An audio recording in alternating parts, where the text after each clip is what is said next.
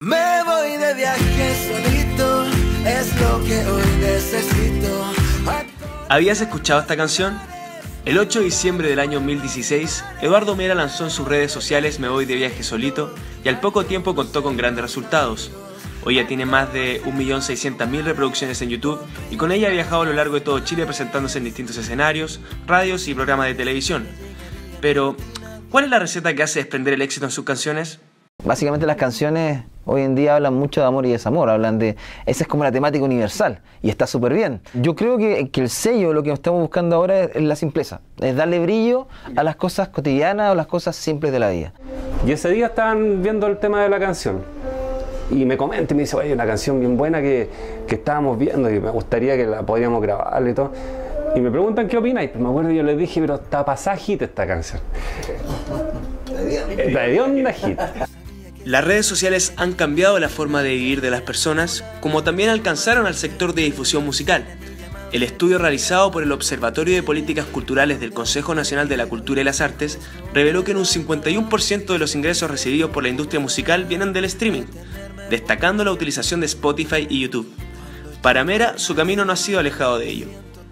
En YouTube empezó a conectar empezó a tener hartas visitas, después empezó a aparecer destacado en YouTube cuando mientras más visitas tienes, te empieza a destacar y a poner en distintos lugares. Y después de eso esto le llamó la atención a Spotify. Spotify de alguna manera lo puso en varias playlists y terminó siendo viral en 13, 14 países simultáneamente, eso fue para mí impresionante.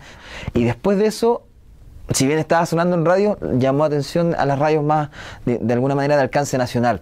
Entonces fue como bien secuencial. No lo organizamos así, pero se fue dando. Efectivamente, hoy día las redes sociales, YouTube o la plataforma, digamos, eh, son eh, el principal motor de difusión de un artista. Eh, y, eso y, un buen digamos desempeño ahí es lo que determina muchas veces que te programen en una radio que te inviten a un festival, etc. Uno comprueba ciertas cosas cuando cuando tenés la sensación de que un tema puede ser bueno, te metí al tiro a las redes para saber si realmente ha tenido repercusión. Y cuando te das cuenta que hay artistas que tienen mucha repercusión, ahí es donde uno decide empezar a tocarlo. Gracias a este fenómeno digital es que artistas chilenos como GP, Javier Amena, Anita Tillú, Camila Gallardo, entre otros, han consagrado su éxito. Son similares los pasos que están ejerciendo diversos artistas emergentes.